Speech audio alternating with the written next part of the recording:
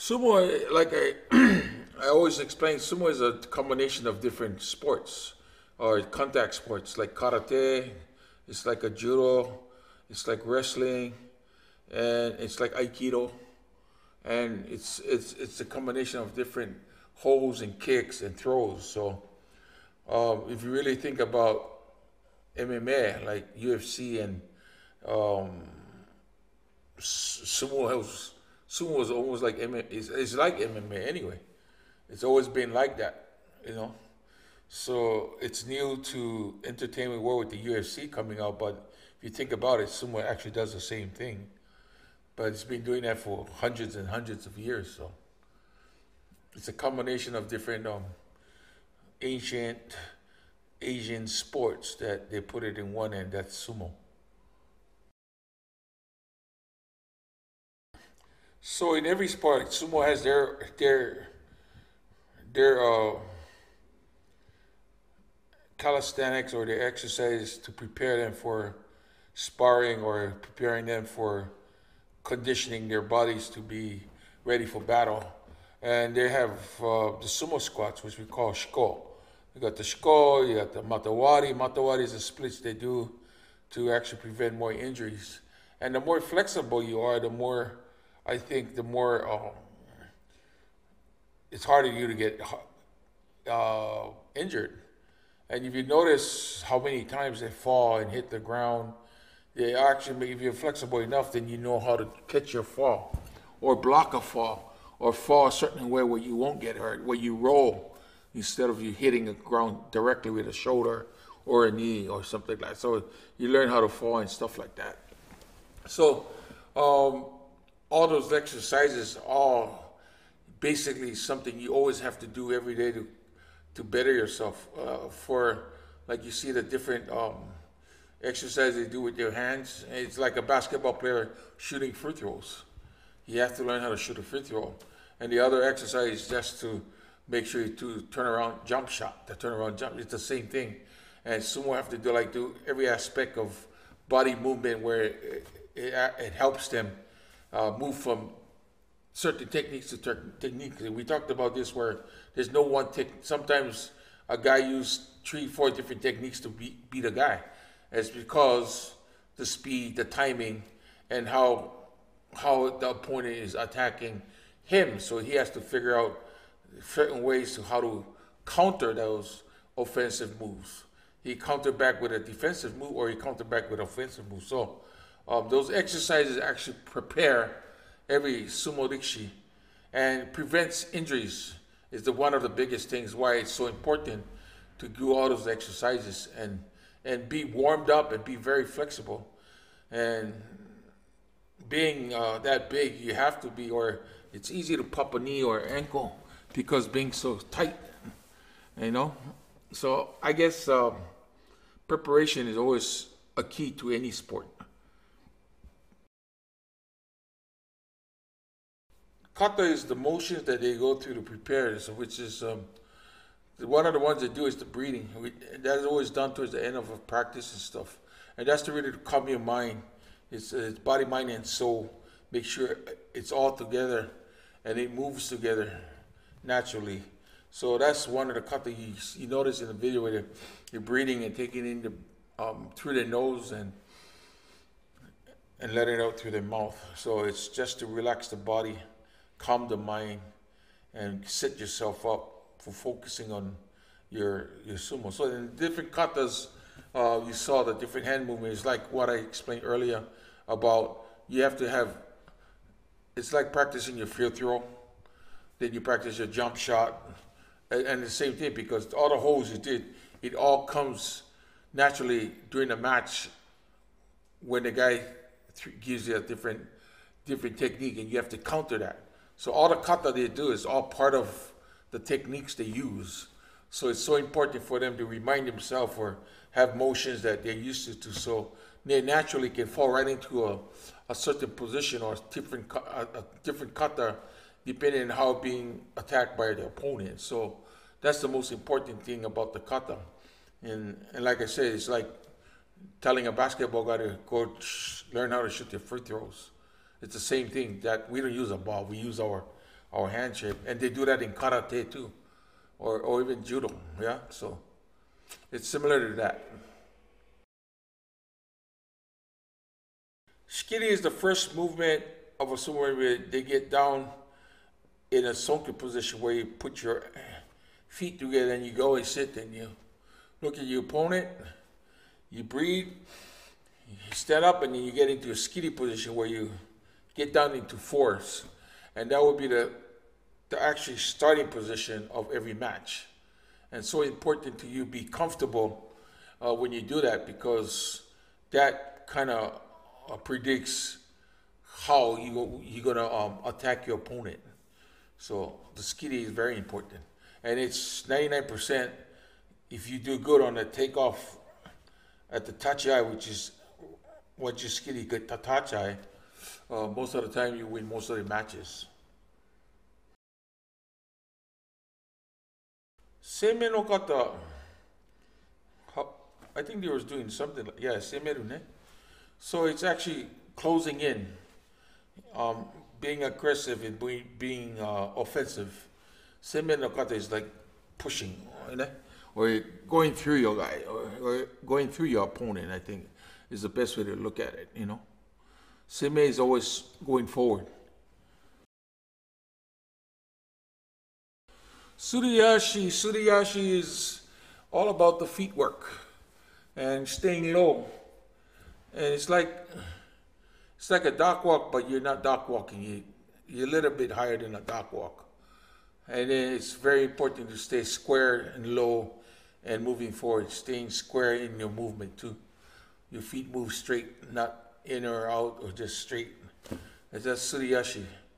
And if you look at all the sumo tories, every single match, Suriashi is being used every single day. In the matches, you can see it. And the thing is to keep your feet flat to the ground. Once your feet you leave, it makes you lighter. So I guess that's one of the reasons why the Suriashi is so important. The teppo is um, the coordinating of your hands and your feet. And um, it's used to actually strengthen your arms, strengthen your hips with your arms. So your, your legs always have to, it's, it's your right hand with your right leg, right leg with your left, uh, right hand with your right leg, left leg with your right hand, uh, left leg. So it's all about coordinating. And, um, and from there you use strength and sometimes you use speed. And that's what the tip is all about, is coordinating your your feet with your hands and um, the speed.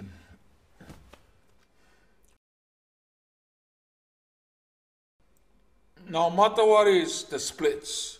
If you easy, the best way to explain it's the splits.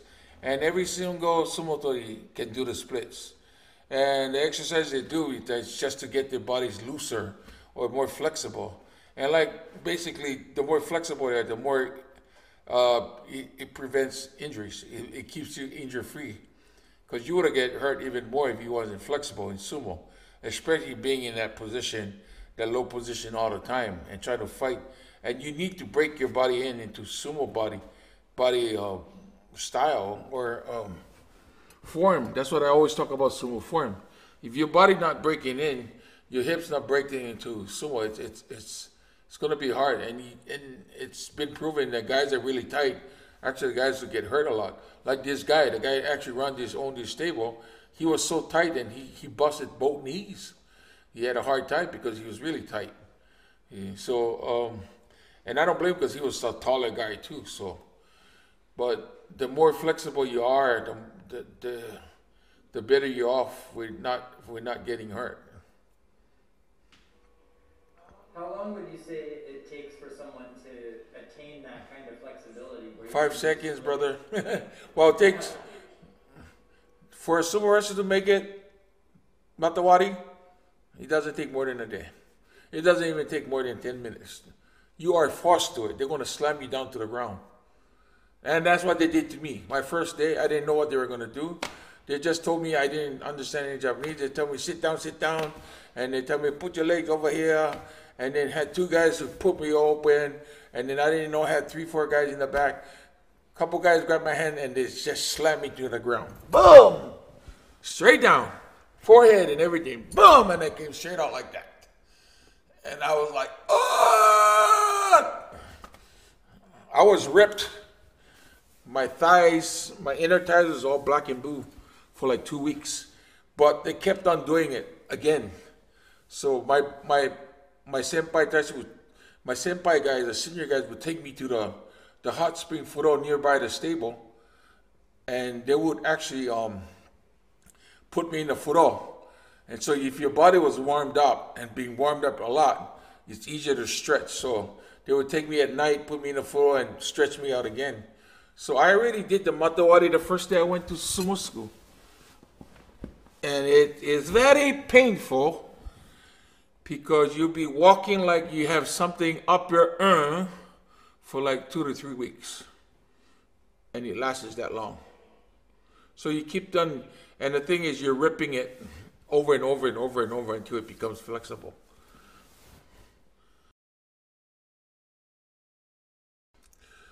Uh, there's a lot of things that um, I learned from sumo help me with my business now. Uh, for example, communicating with a lot of people. Um, in my sumo career, I met so much executive people, people who own huge companies, and I learned how to. I learned I learned from there how to handle, how to uh, speak, like more uh, in those situations. I think that helped me to carry over to my uh, career as uh, running my own business, and you know basically, um, and being disciplined and trying everything I think I can do at the time. So I tried a lot of things that I, uh, at the time I could, after retiring, like I retired, I was still at 33. So I've done a lot of things that I did between 33 and 40 that I would, I would have, I wouldn't do right now or even do it after I was 40 and stuff like the, the singing career as a rapper. I, I came up with rapping music and I think that was the right time to do it. I was traveling a lot doing like documentaries for other TV TV stations here in Japan. So, and um, I guess a lot of being um, Negi Tarashi is something we learn um, in, in sumo. And the other thing we learn always, if I go out with somebody today, then and and I always make sure I call them the next day and tell them thank you for having me out yesterday and stuff like that. Stuff, those little things, those little details that uh, to show um, your respect, you know, for to other people, I think plays a big part, and especially sumo when we're talking about time. It's so important to always be early, no matter what. Um, just and it's not because you want to be early; it's because you want to respect the person who you actually um, working with. You always want to be there first to be ready anytime they're ready. So maybe that's would answer why every time you ask me, everything okay? I said, all okay. Because to me, I feel if I don't, if not ready, anytime you ask, then I kind of disrespected um, your skills to be here with me doing this. So it's, it's, it's a great thing to, to have, I think, in any profession. Always be ready. Some of the stories I would love to tell, and people don't probably we haven't even talked about this this side of my of what I do. I do a lot of volunteer work, and the reason why I do that is um, I always put myself in check by uh, seeing how much I can do for others. And the experiences I did with the Kobe earthquake, the tsunami that hit the Tohoku 10 years ago, all the stuff I've done, and the, ba- the greatest the greatest gift of, of doing all this stuff because I really want to do it, really want to help is, is, from my heart when I do it, is when people from no other nowhere tap you on your shoulder at the gas station or tap you on the shoulder at, at Haneda or tap your shoulder at Tokyo Station or tap your shoulder at Mr. Donuts where you're sitting drinking coffee in Sendai and they cry and say, I was one of the ladies that you fed when you came and made chanko for us. I was one of that guy that was actually eating your barbecue in Iwateken Ofunato when you came and cooked for us. You know, stuff like that. And And a, a, a lady would stop me at a parking lot and say, "My kids did have the presents you came with the Koni Santa project that you did in Tohoku towards uh, after the earthquake and stuff." So that that side of me, I, I love to do, and the reason why I do it, people people ask me why do you do it? Because I'm always checking myself, and the only way I can check myself is how much I can do and how much I can give back on my own time, and um, it's just to keep me keep me flat flat footed, you know, and that's the best way to put yourself on check is is seeing how much you can do. It's, it, at the time you don't have to force yourself to do it, but it's so important to find find find a way or find time to actually help somebody in in, in need. Yeah. So that's the other side, and I have a lot of stories because I've met so much people during the Tohoku earthquake, and uh, we stay in contact. And some of the people that I've met with, and um, and the little things. They had the big um, typhoon like three years ago in Chiba, and we're we went out there too. We we fed like 600 people after that because I was actually in that typhoon, and I was so scared. I, I was wondering, people who got hit must have been like terrible and, and terrified and stuff. So plan to go out there. We cook chanko for them and stuff like that. So I love to do stuff like that because it it keeps my heart pure, and it's so important to keep try to check yourself and see where your heart is all the time. Yeah. So that's a lot of stories that a lot of stuff I've done to keep me keep me kind of flat footed.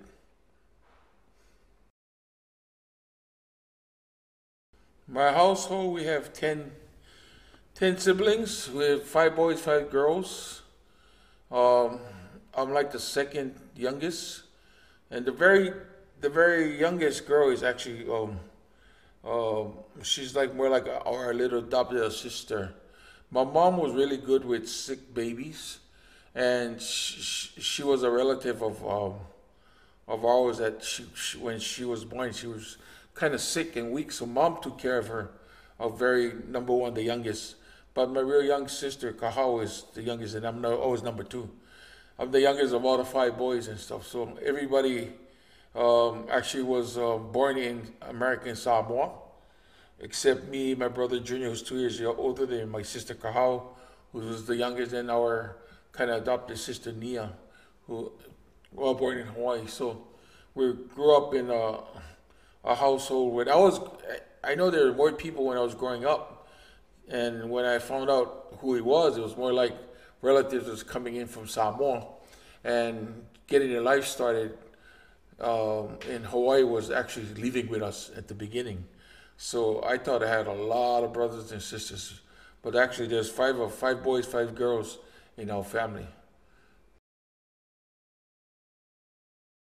Um, a day at a tournament, which is a 15 day tournament, usually what would happen is I come, I warm up. By the time I go out to the alley, I'm at the alley standing there waiting to to see one of the matches to to finish because the winner and the loser, once the match is done, then there's a winner and a loser.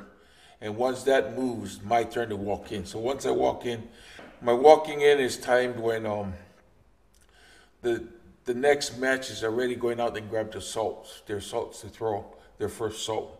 So my thing is to, when I come in, I sit. Once I sit on the on the on the on the floor with my thong or my zabuton with my name on it, I would sit there and I would actually for me, I would picture my opponent in my in my head already. I know exactly what he how he walks, how he grabs his salt, um, his his tempo, meaning his rhythm, and I would have my rhythm. I would have a beat in my head. It's like boom, boom, boom, boom. It's it's I already have this beat in my head. It's the timing that I want to hit. Boom, boom, boom, boom. It's like so. A match goes on. I watch the match and if when when it comes my turn, once I go on the ring, it's it's all about me doing what I'm good at. It's and then it's me trying to get my opponent out as quick as I can and get a win as quick as I can through my sumo style technique, oshidashi or spotty or yorikiri or something like that. So when that ends, um, You come out, if you win, you, you do the kokoro, and you walk off, you see if you serve the next guy water, and then you walk out. That would actually happen consistently for 15 days. Or that's like the routine.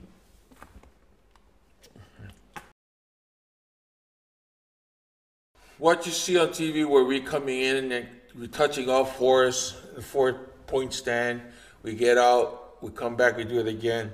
Actually, the referee, the Gyoji-san in the middle will actually tell us when to go and let us know when is our last time to go out and to the corner and grab our last soul. Um, actually, right now, everything is by TV, so there's judges around the ring, and the judge that le- sits closest to Higashi on the right side by the Hanamichi is the timekeeper. So right now, because of it's on TV live, there's a timekeeper would let they let the Gyoji san always. If you watch the Gyoji closely, he always would look down to his right side, on the corner of his eye to see if the Oyakata actually flipped his hand or not. If he flips his hand, that's to, that's to let the Gyoji know, to let the Sumotori know that the next salt is the last time he's going to go for the salt. They have to be ready to go on the next count. So that's that's what um, um, that's what that going back and forth is. So they can until the referee says you have to go to the next count, you can actually do it over and over. Or sometimes, very rare, which wasn't rare in my time, if your eye, eye contact was good and you see he was ready to go and you were ready to go, you can actually surprise the Gyoji, the Gyoji by starting it off on your own. You don't have to really wait uh, for um for the Gyoji to say nokota nokota nokota. Sometimes, like I said, it's very rare, but my time I did it a few times. Because when I looked down, I looked up and stare, I stare into his eye and he stared me back. So we can, you can actually feel that. And if you force start, it, it, if you force start, then they're going to stop you anyway.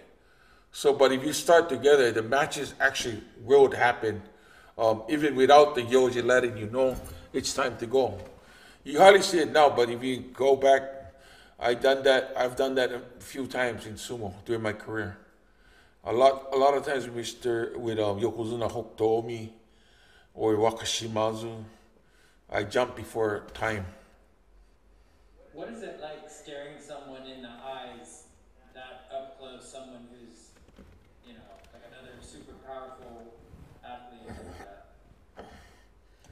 Well, the thing is, for me, you- you just gotta keep the same composure all the time, no matter what, and that's where the game start start getting very uh, gets really really shaky at points because you're so used to a certain guy staring a certain way, and then, for example, if this guy always will stare you back, and then the next turn you, you stare at him really hard and he just walks away, and it makes you think. So it's a mind game, yeah. So you always have to be always the same all the time, no matter what your opponent do. So so that's why I always talked about so important what to make sure I do what I do at the best, and don't get caught up in what your opponent does. So sometimes they do it purposely they look up to you and then oh, and your mind is they're playing with your mind because they they, they never did that before. So all they're trying to do is try to get you to get fired up. So they're gonna take advantage of my big body and my power, you know, to win and stuff. So that's that's another strategy. But my thing was to stare him in the eye and tell him I'm coming, no matter what, you know. I'm coming hard. That's and that's and that was my style. Chikaramizu is the water that we accept uh, at the corner of the ring during the matches. It's called chikaramizu, the water. Chikaramizu is chikara is power and mizu is water. So the, the water that we're accepting from the another rikishi or sumotori is chikara water. So it's chikara mizu. The chikara mizu is only given to from a winner to a winner, or or during the matches somebody who hasn't had a match yet. You never get except water from a loser. Loser. Rikishi is sumotori, sumo wrestler. I don't used to say sumo wrestler, but it, to explain it in English, Rikishi is sumo, sumo wrestler.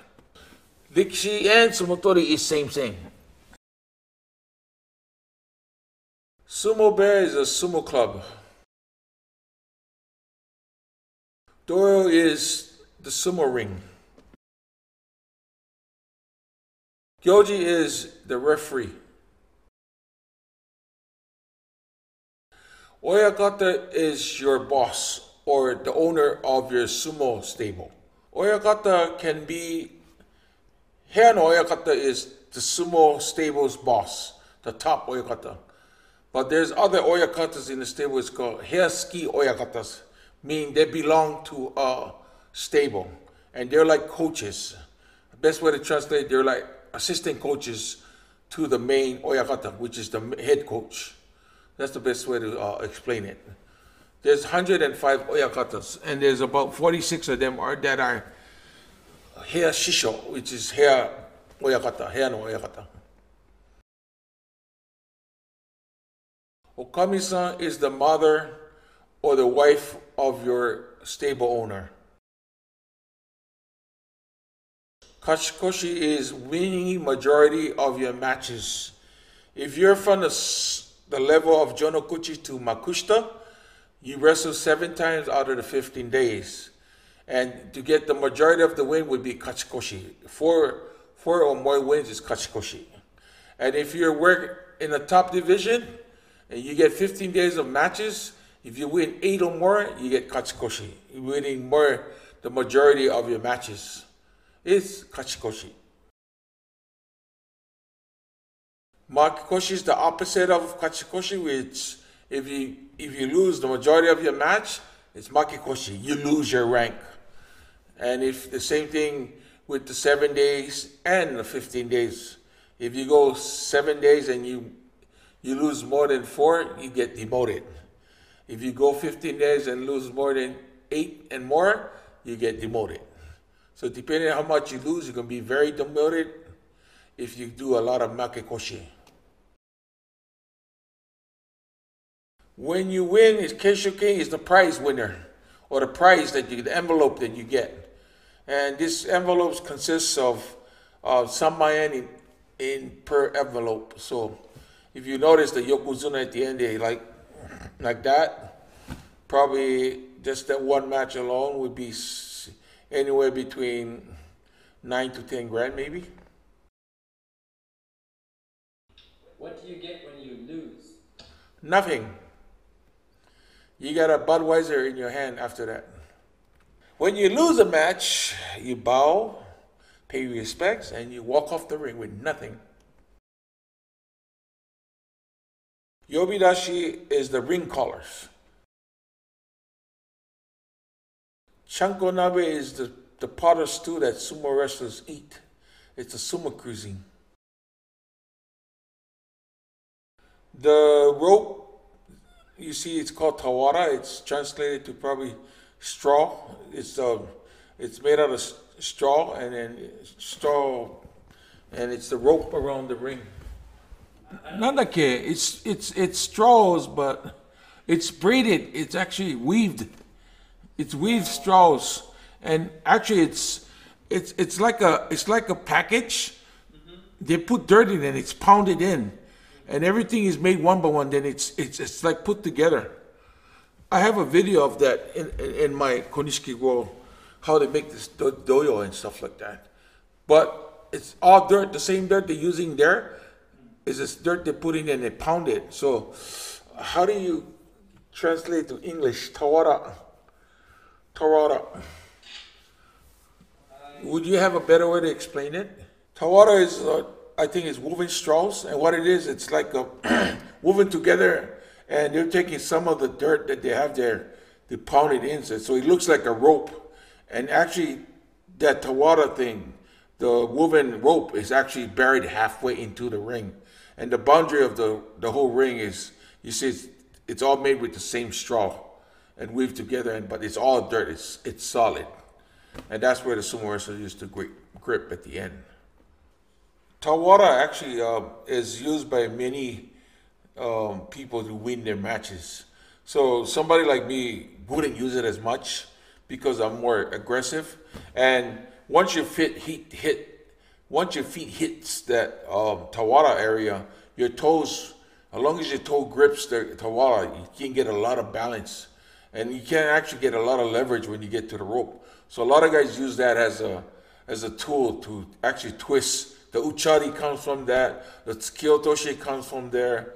The in, in uh, hataki is all comes from. You can actually do all that on the rope, and a lot of guys win on the rope because they depend on having that extra strength uh, coming from the rope when you brace yourself against the rope.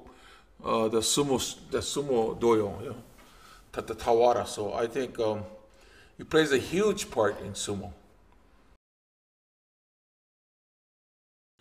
Actually, the way you win in sumo is you either getting pushed out of the, the ring or you're getting thrown into the ring. Anything but the bottom of your feet touches the touches the floor of the dohyo, you lose the match. So even if the two guys are fighting and are tipped over together, and if your chonmage touches the ground, you lose the match. So anything but the bottom of your feet touches the ground before um, your opponent, you lose the match. So if you see a close match and it looks like they're going um they um kind of touch the same time, meaning almost like losing at the same time, right? Yeah, the, the thing it changed a lot because if you're falling and the guy who's standing steps out of the ring, or that's why the sand around the tawara is so important because you can actually try to throw, but if you're on the rope, the tawara, you, you your heel can actually touch the sand, and that's how the, the, the judges will see exactly. Even though we what we see is this guy falling down, but we don't see the other guy standing up, his, his, his feet is actually sticking out and it's touching the sand. So how they find, how do they know about he, he stepped out first? They would look at the sand because the sand is always smooth. And they would, they would see his leg print in the sand. So they would find out and they would double check with TV now. They have video now, but they actually would check and then actually the guy who's standing up would lose the match because his feet went out first this guy was falling down while his feet was touching. But you cannot see that because everything's so fast. But the judges around the ring would see that and they would go, no, your feet touch first. But if if it's the matches are so close that it's hard to judge, then they do a rematch. They have to do it again. So it's really clean. There's actually not actually there's no sumo that's close enough um, that if they're close enough, they're going to have to redo it again. They're going to have replay um, rematch. So they have, you can see the winner and the loser. The thing is, everything is about winning and losing. And if we're talking about the top ranked wrestlers, they do sumo 15 days. So the object is, in the 15 days, is win as much as you can in the 15 days. So, for example, if you can win like 10 or 11 and you're number 16, guarantee next tournament you're going to be ranked number five. Or if you're winning, if you win the turn, if you're going like 14-1 or or even 15-0, you win the tournament. You become an you win the Emperor's Cup. So everything depends on what you win. It's not by points. It's actually ex- it's knowing exactly what you you win and loss record, and uh, it kind of predicts what you're going to be in the next tournament. It it keeps you the ranking of your next tournament. No, it, it doesn't have any extra points. It's only about winning or losing in sumo. It's real fine, the sand. If you look the sand around the wing, they call it the snake eye. And you look at it, it's really fine. So if you look at the guy sweeping it, you always you always see them sweeping and making sure it's all same level. So if you look at the Tawara, if the Tawara is here, they have the sand up here. So actually, it's not the sand is not down here. It's actually even higher higher than the tawara sticking out. You know, it's more than because half of the tawara is already into the the dohyo, but the sand is like up here. So if your feet just touches like this, you lose. So it's funny because if you think about it, your feet is still like a few inches off the floor of the dohyo if you're inside, right? So if you touch it like this, you're okay. But when your feet is on the ring and it touches just the sand, you lose. So it's always very, that's, if, you find a lot of guys, always on their toes. Because they, the reason why they stay on their toes, that their heels stay up. But if you try to stay flat on your feet, your heel will always kind of touch because the sand is a little high outside of the tawara. So it's so important you when you catch yourself on the ring on the tawara, most of the good, the real good guys on tawara will actually get stuck on the tawara with their toes. They'll be on their toes. Mr. Todd Silverstein, I'm your one-stop sumo shop. Coming all the way from Ryogoku. Um, great team, the Nao team. Uh, we all hope that everything goes right and we come out with a big bang, bang, bang, bang.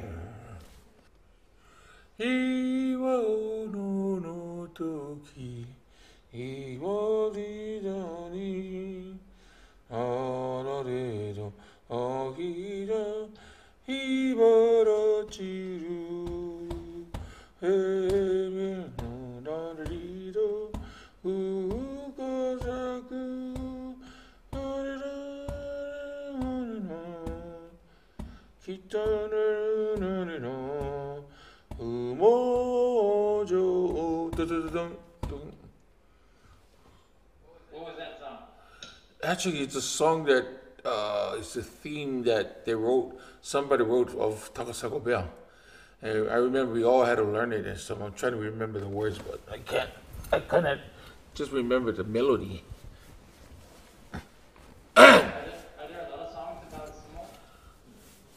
Sumo Jinku, ne? There's a lot of Sumo Jinku that they write about the stories of your life and then they sing it out. So it's a lot of them is original stuff, what they call Sumo Jinku. If you push it up, you, you pop out. Is there a Koshiki one? Oh yeah, there's one that uh, they wrote when I was uh, retiring for my um, Intai Zumo.